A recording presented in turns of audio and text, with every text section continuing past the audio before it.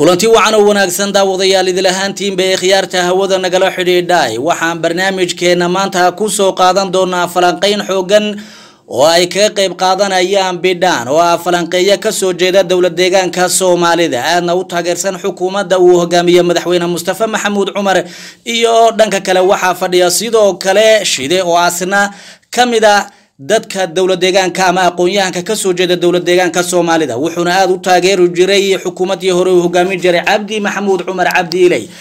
Doodaasi oo ku saabsan in dhawaalaba inay jirtay daawadayaal madaxweyne hore dowlad deegaanka soomaalida. Inay u yimaadeen magaalada nairobi rag ka socda isaga oo doonayay inay kala hadlaan saraakiishii t b l f ee ku sugnaa magaalada nairobi kuwaasi oo ay sheegeen in dowlad deegaanka soomaalida ay dad badan kaga xidhan yihiin magaalada addis ababa.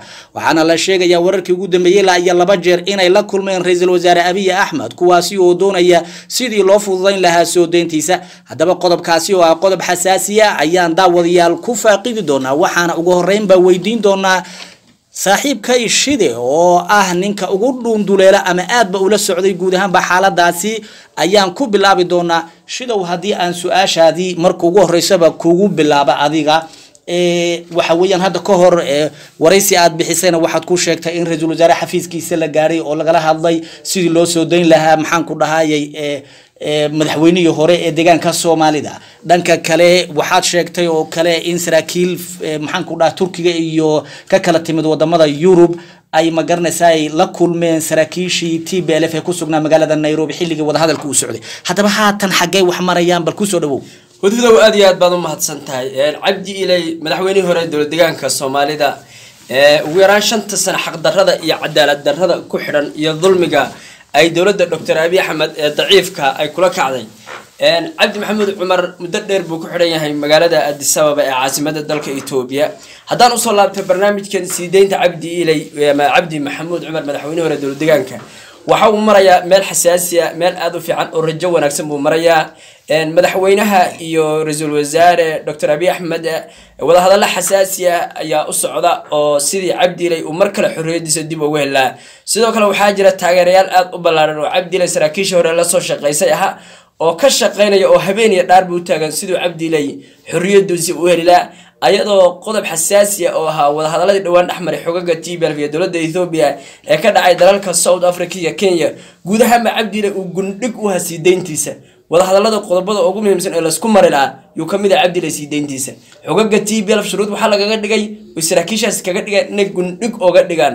Marka cabdile waa heshiiskii hirgelintiisa dadka hadda meelaha muhiimka ee hirgelinta heshiiskaasi cabdi iley in la sii daayo yaa kow ka ah dowladda etoobiya talaaba shidow shidow haddaan kaa dhex galo daawadayaashana aan u jilciyo waxaa jiray in saraakiil fara badan dowladda federaalka etoobiya ay xidhay. Sidoo kale dad fara badan oo ganacsata. Marka dadkaasi listada ay haysteen ayuu ku jiray baad ka wadaa dabcan. Haa cabdiiley wuxuu aha listiga iyo shuruudaha maxaabiista ay ku heshiyeen xogaga t b l iyo dowladda etoobiya inay xorriyadooda helaan oy ka mid noqdaan nabadaynta dalka etoobiya sidii etoobiya hor loogu dhaqaajin lahaa etoobiyadan cakiran ee gaajada iyo macluusha ay la degtay.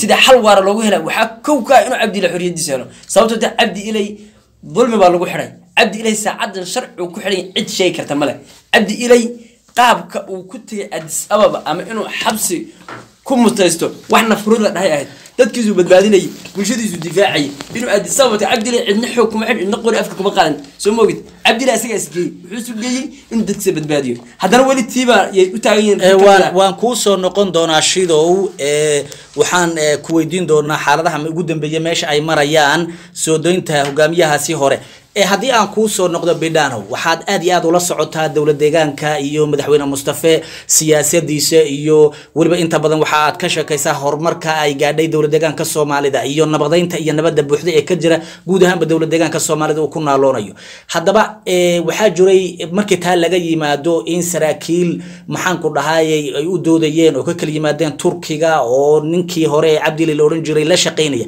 Arrimahaas maxaad kala socotaa? Horta markii xaqiiqada aan ka hadalno t b l f iyo cabdi mar hore kala furteen. Wax hadda la isku keenayo. Ama shuruud lagaga dhigay ma jirta Haye. t b l f teeda u calweyday oo hadday mataqaanay t waxaa la yidhi rida hadday wax tarays dabadii dadan lahayd. T b l hadday wax tarayaan iyaga heshiiska lagu khasbay ee waxba aan ka jirin. Yaa horta diidi lahaayeen. Midkan cabdi ilayna meesha kuma jirinba. Haye wax la soo hadal qaaday. Xataa la sheegay. Ma jirin. Meesha waxaa laga hadlayay qadiyada tigreega iyo iyo mataqana si nabadeen gobolka looga heli Hawshaas bidhaan waan ku yaa laga- hadlayay laga soo duubay nairobi. Waxaa cadeynaya saraakiil soomaali oo ku jiray. Saraakiishaasi matalaad cabdi ka socotee waa u soo noqon doonaa shida Fiiri, gudoonkaaga aan kuu sheego. Soomaalidu meesha waa lagu casuumay. Ma fahmaysaa way tageen waa xaqiiqa wey way tageen waa lagu casuumay meesha. Waa maxay u tageen? Iyaga laftooda qayb ka mid oo la socotay t b n f ta jirtay oo kuwa dhakhaatiir u ahaabaa jiray. Laakiin waxa la yidhi cabdi ilay laga hadlayay ma jirin. Cabdi ilay t b n f hore waxay u tiri dagaalka bilow adigu annagana waan gelinay Haye, marka u horreysay wuu diiday. Markuu diiday cabdi wuxuu mataqaanaa uu ka doorbiday in uu la shaqeeyo maamulka abi axmed. Waa kii abi axmed ku casuumay magaalada mataqaanaa jigjiga oo u keenay. Markaasi kala t b n f. Kadib markii xaaladda ka halowday waa marka mataqaana mataqaana uu isdhibay asaga. Fulinimo. Fulinimo awgeed weli dowlad- dowladdayaanka ma soo marin nin cabdi ilay ka fuliysana Hay. wuxuu haystay ciidan kor u dhaafay laba boqol kun oo ciidan new police. Hay. Eh, u taageersanaa taageersanaa oo weli mashaar fiicanna qaadanaya dadkana dhibayay oo gubayay oo halaagayay yaa joogay. Xilligaas waxay diyaar u ahaayeen inay etoobiyadan iska celiyaan. Isagaa mataqaanay wuxuu sameeyey. Marka wuxuu yiri haddii ciidanka ay dagaal bilaabaan kuwanna kama haysatid kalsooni fiican ay ku- ay ku dilayaan. Saasuu mataqaanay jeelka ku galay. Xaggale ma la xukumay ilaahay hadda cabdi lama xukumin. Haye. cabdi wuxuu geystay afar sane dheeraad bu xidhan yahay ha xirnaado. Intaa waxaa socota baakii wey waxaa la rumaam ku jiraa. Jeel weyn loomana dhicin weli. Cabdi jeelkiisa wuu dhiman waa waxaa waa waa naft muxuu ahaa xabsi daa'im wey fahmaysa wuu dhiman yahay kiisa laakiin hadda waxa loo haysto waxaa weeye dembiyada uu geystaa maalin kasta loo soo bandhigaa. Dadki uu horey u laayay jeel ogaadeen iska daa iyo mataqana ormad iska daa iyo ummad kale uu laayay axmaaro uu laayay. Wax oo dhan way joogaan. Dadkaasaa dembiye ku soo oogay. Adduunkii baa haysta. Maraykan iyo wax kasta ku dhegan Haye. fahmaysa Haye. cabdi dambiyadiis wax la soo koobi karo. Ma ahan. Wax ay t b f sii dayn kartana ma ahan. Ninkan adduunka ba- mataqaana yaa haysto. Ee humanity dhibaatada uu ka geystay. Yaa loo haystaa. Iyo dowladdayaanka gaar ahaan. Marka cabdi ilay haddii mataqaana maxkamadintiisa ay soo dhamaato wax la soo sii daynaya ma ahane? Cabdi ilay xabsi baa loo sii dhaadhicinaya oo godba mataqaana gelaya. Haye. dowladdayaanka inuu ku soo noqdo mar- dambana maba dhici kartaba waxaa halkaa la isweydiinayaa. Waxaa jirtay ee, dad fara badan oo markaan xuraanay arrintan ah. Horta waa la dhaqdhaqaajiyey markii wadahadaladu ay bilaabmeen bidhaano ayaa dib loo dhaqdhaqaajiyey oo saraakiishan hadda aan sheegayna ee nairobi timid qaara addis ababa u gudbay oo ku dhumaalaysanaya iyagoo dowlad deegaanka qaarkood ka cabsoonaya. Haddaba arrintan waxaa la sheegayaa in liistadii ay gudbiyeen oo ila dad fara badan baa ka xidhnaa nimanka la yidhahdo tigreega bidhaano waxaa ka xidhnaa ganacsataa ka xidhnaa oo weliba liistadu ay wateen. Marka kuwaas in lagu daray adigu ma beeninaysaa? Ha waan beeninayaayo wax ka jira malaha. T b l f waxay ka hadlaysaa un. Maxaabiistii iyaga dagaalka lagaga qabtay. Ama intii dagaalka u socday wixii dhacay. Laakiin wixii ka horreeyey waxa shaqo ay ku leeyihiin ma laha. Ma fahmaysa cabdi ilay dadkii ka horreeyey mataqana ayuu ka mid ahaa. Cabdi ilay midda kale dadka u xiran yahay soomaali wey uma xirna t b umana xirna dowladda etoobiya wuxuu xiran waa dow- dowlad deegaanka iyo dhibaatada uu ka geystay. Yuu u xiran yahay dambiyada uu geystay baa cadcadoo yaalo dadki uu laayay caruurtooda mataqana joogo. Aabbayaashii uu laayay baa mataqana yaa dadkoodii joogo. Ma fahmaysaa ninkan marka xuquuqul insaanka iyo dambiyada uu ka galay yaa muuqdo. Ee, bidhano waan kuu soo noqon doonaa ee ma jirto weli maxkamadu dambiyadii kamaynan kamaynan hor cadaynin weli waa la ururinaya la dabcan inkastoo lali haddana waa la sii daynaya. Ee, shidow waxaa jira in saraakiishii nairobi uu timid ee t b lf la kulantay ay ma garanaysa ay aada isugu taxallujinayaan oo weliba la sheegaya xafiiska madaxweynaha ee ra'iisul wasaarahan idhaahda ay gargaraaceen. Arrintaasi maxaad caddaynaysaa xaggee wax marahaya arrintaasi xaqiiqo waaye saraakiil sarsare oo ka yimid dalka turkiga iyo maraykanka oo meelo badan iskaga kala yimid ayaa hawshan ku jira. Hawshan meel fiican bay maraysaa. Hadalka bidhaan haddaan u soo laabto bidhaan hadalkiisu wuxuu wuxuu egyahay ama u muuqda hadal ii dhah. Hay. imaqashii qowda imaqashii Hay. oo meel ka socda oo dhan ka raran. Xaqiiqda muuna ka turjumin Hay. cabdi ilahi waxqabadkiisa iyo dowladnimadiisii iyo inuu ah hogaanka keliya haddii maanta la dhaho cabdi ilahi xabsiga waa laga sii daayay jigjigo inuu cagjar joogo inuu casar ka caraabayo xataa ayna naftu erbood ku simeyn oo la ogyahay oo ay ugu yaraan shan iyo toban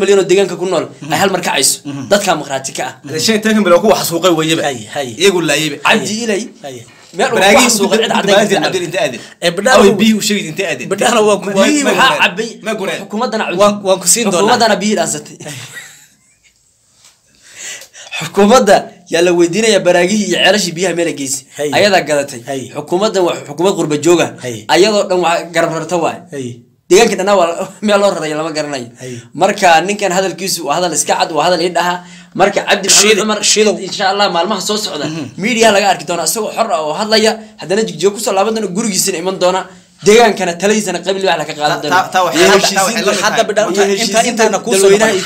la kulmeen hadda yay la kulmeen. Hadda waxay la kulmeen guddigii ka soconayay midooda africa ee ugu horeeyeen obasanjo iyo madaxweynihii hore dalka kenya uhuru kenyatta iyo siyaasiyiintii kale dalalka reer yurub maraykan ka socday. Guud ahaan way la kulmeen. Hay. cabdile waa siyaasi caan ah waa waa siyaasi xuquuq kule dalka etoobiya u soo shaqeeyey. Marka arrintaasi xogaga t b lfna maadaama uu cabdile muddo dheer ula soo shaqeeyey waa inay booskooda ku soo darsadaan inuu cabdi ahaa shaksi etoobiyaan ah oo xaqdarro ku xiran xuquuqna kule inuu dalweynaha etoobiya weli sii xukumo. Marka cabdi ilay wuu soo noqonaya wuuna xukumi doonaa deegaanka soomaalida waan kuu soo noqon doonaa dooda weli way noo socotaa daawadayaal waadna mahadsan tihiin wixii fikirkiina a idinkoon caytamin. Waxaan rajaynaynaa daawadayaal inaad commentigiina aad qof walba waxa uu aaminsan yahay aad ku soo qortaan. Bidhano waxaan kaa rabaa adigu waxaa tahay Eh, horta eh, hal mar aan kaa dhexgalo. Eh, horta sideenta hadda la sheegayo hadda maysan bilaabanin maalinka ilaa iyo maanta la taagan Hay. yahay waa la soo daaya baa la. Eh, mar dhaxan waxaa jiray la yiri maxaabiista u xiran siyaasadda la sii daayey. Yaa jiray. Oo jawaahir maxamed iyo kii axmaarada iyo kuwa badan la sii daayay kow. Waxaa la keenay marka kooxdii hore ee heege waxay keeneen cabdi waa la sii daynaya. Oo uu ku jiraa dadkan siyaasadda u xirnaa markii markii dambana waxay noqotay dhaan dabangaal oo socon weyday. Haddana tiiba mataqaan la mid tahay. Muxuu ahaa cabdi baa soo noqon oo dowlad deegaanka imaan doonana waxay la mid tahay muxuu ahaa eh, malas ma noo ma dhimanin ayay la mid tahay Hay. cabdi muxuuna yidhi malas wuu noolyahay ma dhimanin. Hadda marka cabdi oo soo noqonayo taas iyada mataqaan ayay la mid tahay wax dhici karana maaha. Eh, waan u soo noqon doonaa eh, b- shida waan u soo noqon doonaa. Bidhaano su'aal baan raba inaan kuweydiiyo maadaama dowlad deegaanka aad xooga fara badan ka hayso ood subax walba la xidhiidho oo aad marar badan aad tagto dowlad deegaanka waxaa la sheegayaa in sicir barar uu hawada galay oo dowladdii ay xakameyn laadoo la sheegay in dowladdii laftigeeda ay xakameyn laadahay xilligii ninkan ah, hadda aad ma garanaysa kula doodayso shide saaxiibkaa shide sicir barar ma jirin dadka intii la laayay intay qaxdima intay kale si nabada ayay ku noolaayeen markaasoo hadda lama dhihi karo markii si loo fiiriyo dadku waxbaba kuma noola maya dunida xagga u socotaba dunidaas cirbarka ayada eh yaa ku socoto. Xilliga ayada ninka hadda aan ka sheekeynayno ee, doolarka iyo mataqaana wax walba mataqaana istanbul bay ii ahaayeen. Adduunkan dagaalada fara badan kama jirin. Ukraine lama weerarin fahmaysaa laakiin hadda Ethiopia dhexdeeda isma Ethiopia weerarin. dhexdeeda isma weerarin Hay. hadda laakiin Ethiopia dhexdeeda is weerartay. Iyadaa mataqaana dagaalo ka socda ee, beesha caalamka mataqaana ka shiiligay oo lacagta mataqaana doolarka mataqaana la baxay. Taasoo dhan taa waxay keentay marka bedelkeeda in sicir bare inuu dhaco. Kelina kama jirto Ethiopia adduunka dhan wey Hay. oo waxaa laga dhawaaqayaa reer yurub. Oo xataa darhad waxaa arkaysay muxuaha turkiga iyo wadamo mataqaana ingiriiskii dhammaan waxay lahaayeen. Shidaalka korontada hala dami habeen minka gaaranis dambe. Maxaa waa la yareen bay kuleeyihiin isticmaalkeeda? fahmaysa marka adduunka dhan baa sicir bararkaas mataqaana ayuu ka jiraa wax etoobiya keliya gaar ku ah ama dowlad deegaanka keliya gaar ku ah ma ahan. Wax soo socday buu mataqaana ayuu ahaa. Haddii cabdi uu joogi lahaa maanta waxaan hubaa in dadka dhammaan ay dhammaan lahaayeen.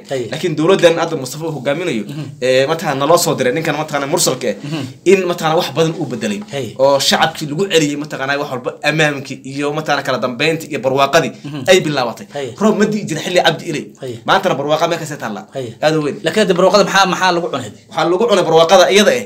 Ilaahay markay dadka ka cabsadeen oo meel ku cibaadaysan ay heleen iyo barwaaqada timid. Laakiin xilliga cabdi ilay dhaanta la tumanayay waad mahadsan tahay waa kuusoo noqon doonaa bidhaanow Eh, commentiga ayay kolley dadku badan inta badan noogu faalayn doonaan shidow haddaan dib kugu soo noqdo ee taageeradii faraha badnayd ee aad sheegayso ee cabdi ilay uu lahaa iyo dowladdii hore iyo xukuumaddii hore. Waxaa la sheegaya dee inaad kala dhunteenba oo hadda hal dhumi hal dhaan raac intaad noqoteen deegaankiina aad ku gagabanaysaan dibadihiina dibadihiina iyo aad ma garanaysaa wixii aad dhacdeen horan aad dhacdeen aad ma garanaysaa meelaha ku darsateen. Marka dadka inayna waxba u haynin. Arrintaa maxaa ka jira arrintaas waxba kama jiro. Ruux walba afkiisa wuxuu asagoo ka dhaho. Mm. asaga waa fikrad asagoo u gaara marka inuu cabdi ilay taageero deegaanka ku leeyahay cid waliba og. Bulshadaad la xiriiri kartaa xaggan haddaanu soo noqdo waad kala dhunteen. Wax kala dhuntaan dhaho oo xisbigii talada haya kala dhume ma jiro xisbigu sidiisi buu dhisan yahay. Haye. golihiisi dhexe iyo guddiga filintaba wuu leeyahay. Dowladdan hadda shaqaynaysa mustafa cagjar hogaanka beso in cagjar a isbedelay in cagjar askar yar oo uu asaga reerkiisa soo qortay. Oo qori afkii la hortaagan baarlamaanka. Waad ogeed baarlamaanka intay mooshi ka keenay waa waa ku waan kaa qaadnay xilkii. Dhammaantood waa xidhxidhay. Qaybna ay weli arsaba ku xaniman yihiin marka meesha waa waa xukunkii waa waa dictatorun Haye. dictator saacadiis way marka mustafa cagjar waxaan sugaynaa in la dhahoon. Miyaa la qabtay iyo miyuu miyuu tahriibay labadaa ma sugayna su'aal ay dadka isweydiinayaan shidow idinku ma waxaad rabtaan inaad etoobiya kolba ciddii xukumaysa? Aad ka xisbi ahaan sida aad sheegayso aad isnoolaysaan oo aad federaalka wax la qaybsataan miyaad doonaysaan? Mise inay t b lf soo noqoto umaad idinku wax ku tihiin ma anagu xisbi baan nahay haye. Xisbi baan nahay xisbigaas wuxuu xuquuq u leh inuu dalweynaha etoobiya maamulo in nalala tartamaan diyaar u nahay cabdi maxamuud cumar waa gudoomiyaha xisbiga. Waa xisbiga shacabka. Shacabkaa keensaday. Shacabkuna matalaa annaga t b lf xisbi united aan ahayn alliance samaystay marka xisbiga naga hadduu soo noqdo markasta waan soo dhaweynaynaa annaguna shacabkaan matalaa ee waad mahadsan tahay shidow waxaan rabaa ee, intii uu madaxweyne mustafa maxamed cumar deegaanka joogay waxaa jira deegaanka nabad buuxda ayaa ka jira cid loo la dhibaateeyo oo dhibaato ka jirta ma ay jirto. Sida uu bidhaan sheegay xilligiinina dad fara badan baad barkiciseen oo disheen oo dhibaato aad u geysateen xisbigii uu ee, ee, madaxweynihii hore cabdi maxamuud cumar cabdi ile uu hogaamin jiray. Haddaba soo lama dhihi karo dadkii shacabka waa idinka raysteen oo ma garanaysaa dhib dambe oo u deegaanka uu rabaan ma- jiraan. U ma jirto. Cabdi ilay dembi u geystay ama dad uu xasuuqay. Een, soo sida horta laba wax baa jira. Laba qori markay iska soo horjeedaan een, wa- sida laba dib hadday isdagaalaan cawska ku waxyeelooba meesha cawska ku burbura. Haye. meeshan laba qori baa ishaye bulshada cidina intay shacab u yimaadaan xabad lama dhacayn labada qori isleynay iyo dadka waxay dhinteen. Ku dhex dhinteen intii dhibatay laa u naxariistaan Waa cabdi maanta hadduu joogi lahaa deegaanka soomaaliya barwaaqo soo hormugaadhi lahaa. Waad mahadsan tahay.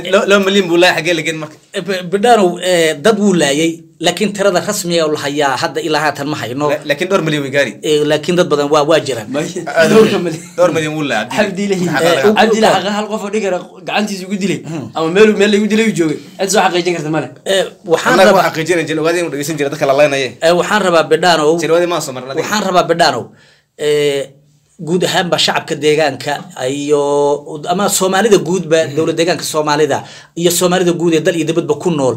Maxaad u sheegi lahayd hadda meesha uu maraya dowlad deegaanka iyo siyaasadiisa adigoo soo koobay xaqiiqda markaan ka hadalno dowlad deegaanka hadda maanta meeshii u ficneed markaan ayuu maraya markii amniga la yihahdo dhaqaalaha la yihahdo kala dambeynta bulshada la yihahdo horumarka la yihahdo meel fiican u maraya weliba hadda xilli fiican baa mataqaanaa yuu- yaa jirta oo haddii hadda t b l mataqana nala heshiiyey ee, soomaaliyana mataqaanaa idana dekada dhowr ah ay ka soo waxismeen ee, ururka online meesha ay ka baxeen. Waxaa hadda la rajeynayaa marka in wax badan uu isbedeli doono. Caqabada keliya hadda haysata waa ururka al-shabaab ee soomaaliya ama dowlad deegaanka weerar ku soo qaaday mar walba. Iyaga haddii meesha laga saaro waxaa mataqaanaa soo socdo saadaal aad u wanaagsan.